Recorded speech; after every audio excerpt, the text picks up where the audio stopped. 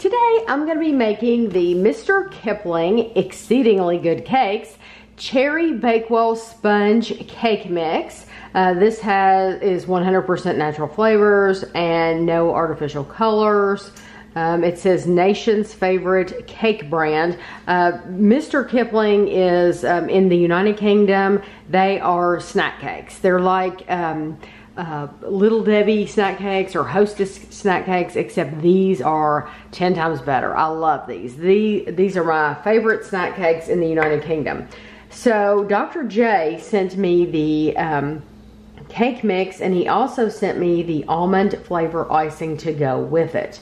Now, it shows on the front of this, it shows um, some uh, raspberries, it shows uh, the raspberry uh, preserves in there, but it uh, does not talk about on the back of the box about having any of that stuff. So it doesn't even tell you like if you want to use that stuff, this is optional. This is what you will need. So like over here um, in the United States, they would tell you uh, two tablespoons of raspberry preserves is optional. They do not say that at all on the back. So I um, Kevin has made me a uh, Bakewell tart uh, two times. There's two videos on the channel. Um, and the one using the Trader Joe's almond flour is the best one. It doesn't have a picture of the, of the tart as a thumbnail, so it doesn't get as many clicks as the other one, uh, but it is the second one he made, which is even better. But I'm going to be using this uh, these raspberry preserves. And so you don't have to have those. You don't have to have the icing, but I'm so glad he sent that because I would rather have it the sweeter the better. It says just add two eggs, oil, milk, and filling. So that uh, you want to preheat your oven to 180 degrees Celsius or 160 degrees Celsius fan. Um, I have mine for an American oven at 356 degrees. You need two medium eggs, five tablespoons of vegetable oil or 75 milliliters, 125 milliliters of milk, and then the filling, like I said, the filling it says is optional, but they don't even tell you what to use. Like if you wanted to have the filling, they don't tell you what you could have. They don't give you options. So I think they should have done that. Uh, but they say you need a measuring jug, sandwich tins, greased and lined, and a handheld electric whisk. Well, I am using my KitchenAid uh, whisk and my um, pans. I have two of these. I have lined them. I have sprayed them with vegetable oil. So that's the only thing that I've done there. So what you want to do is you want to take, I have my milk in here. I'm going to uh, put my vegetable oil right in there with the milk.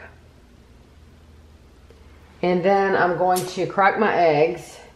And I use a knife because that's just the way that I do it. That's easier for me. Um, Kevin and Ashley would just break theirs on the on the uh, counter, but I, I always use a knife. And so you want to mix this together. It said to use a jug, but uh, Sarah sent me this measuring cup a long time ago from the Isle of Wight. And it is the only measuring cup we have that measures in milliliters. And I think that's originally why she sent it to me. And so it's tall enough that you can see, I just mixed that right in there so I didn't need any uh, separate container. But you want to take your mix out of here, and that's that's all that's in the box, just that, just this package. Open it up. And don't do that, Tami. Okay, now we're gonna pour this in our mixer right here.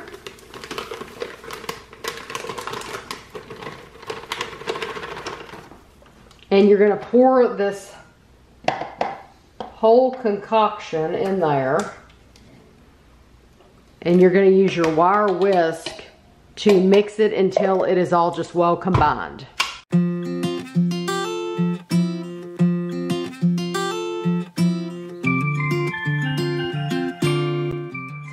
Have my uh, bowl of batter and there are, this smells so wonderful. And I know you, I didn't show you earlier. This actually has pieces. See all that? Those are little cherry pieces down in there. Um, so that's where the cherry comes in. So um, even though it's a cherry uh, Bakewell sponge, you still usually use uh, raspberry preserves. Uh, so I have my two pans here and I'm going to try to equally uh, disperse this. I, I'm, I'm not good at this. Usually Kevin is much better at this than me.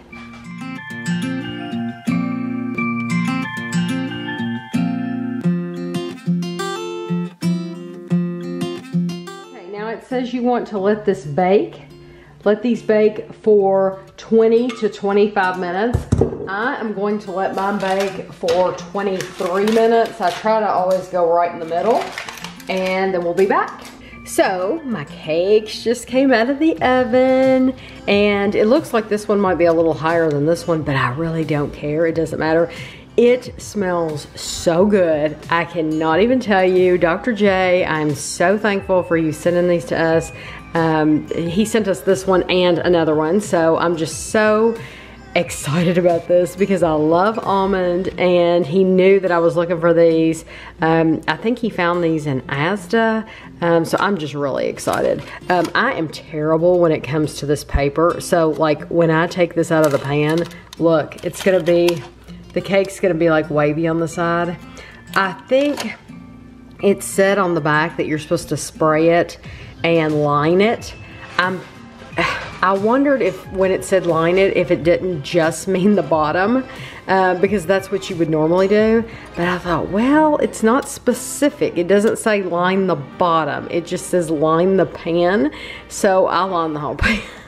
so mine will have little wavy sides, but guess what? I'm gonna be the one eating it, so I don't care how it looks because it already smells wonderful. So I'm going to let these completely cool and then I am going to um, ice the top and so I'll show you that after these have cooled off. I'll probably let them sit for half an hour. I'm going to take these out because they, they the pan's cooled off to, to take them out and gonna lay them here like this because they will cool off even quicker if you take them out of the pan. And I could have done this at the beginning, but I just didn't. So now I'm probably gonna put the thicker one on, um, on the bottom, like this. So that came right off, as you can see. No problem at all. So while I'm allowing those to cool, I'm going to, uh, they show that you can uh, pipe this on your cake and I, normally I wouldn't do that, but since I'm using the raspberry preserves, I don't want them to, um, I don't want to push those off the cake. So I do want to pipe this on and I don't think it'll be that big of a deal. So um, it says to I'm just gonna lay that on there. It says to stir it before using it anyway, but I'm going to, um, I have a Ziploc bag and I'm just putting it down in a cup and I'm gonna pour some of this in here.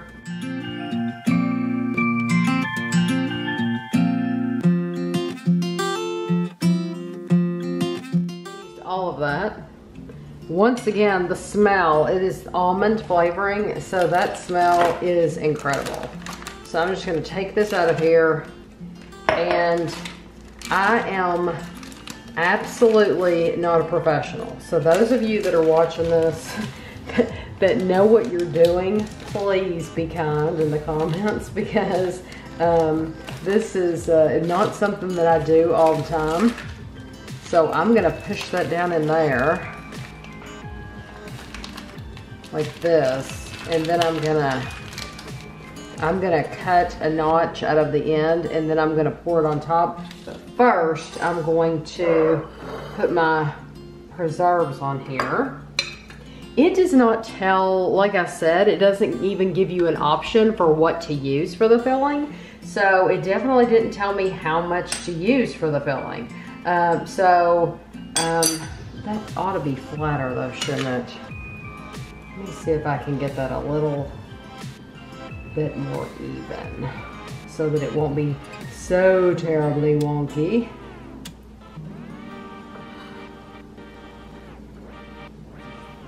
Yeah.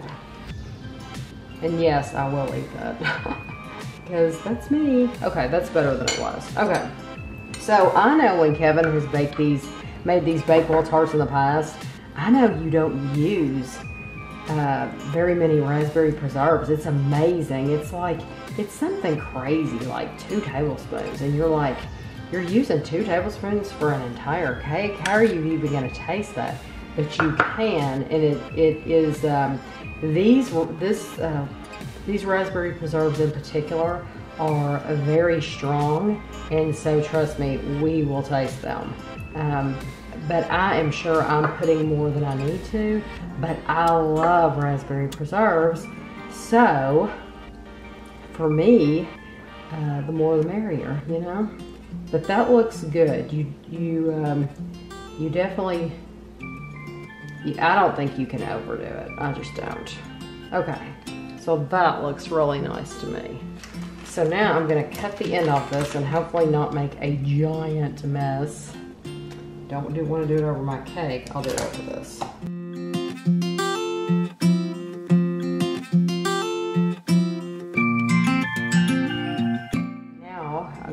Top of my cake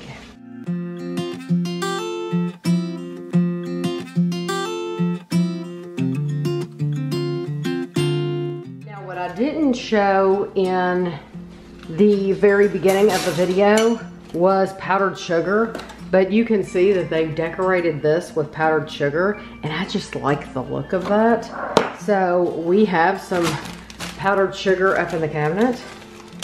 So I figured I would just put a little bit on here.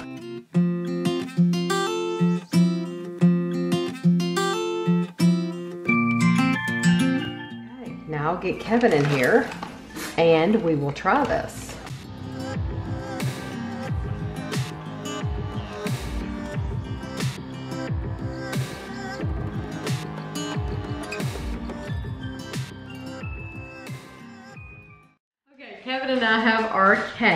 Kevin said it didn't look like I let it cool off. no, off. it's thicker than I thought. I thought it was a lot more melty than it was. Well, because I told him, I said I thought it was cooled off. Yeah, I thought it was a lot meltier than it was. It's not. It's pretty It's not very pretty, but that's because I made it. you didn't make it or it would have been perfect. If you really want to make it pretty, you had to have piped. I did. I piped the um, the white, the frosting on. But you had to have a fancy bag where it makes the little, like the little lines in it and stuff. It wasn't fancy. That good. so good. That is very, very good. I sweet. I mean, it's super sweet. I absolutely love Did you put powdered sugar on the top? Yes. well, they did it in the picture. Mm-hmm. And like I said, if if It's this very good. cake mix was here, um, they would have said um, raspberry preserves optional. They would have said powdered sugar Like, optional. like things you could add to it. Things you could add to it. They didn't say any of that on the back of this box. I'll I tell mean, you what, it has an excellent cherry flavor. It does, and the almond, the cherry and the almond flavor. Yeah. Um, I is love the it the flavor to raspberry preserves. Yeah, I can eat this over and over again. It It's is very so good. good.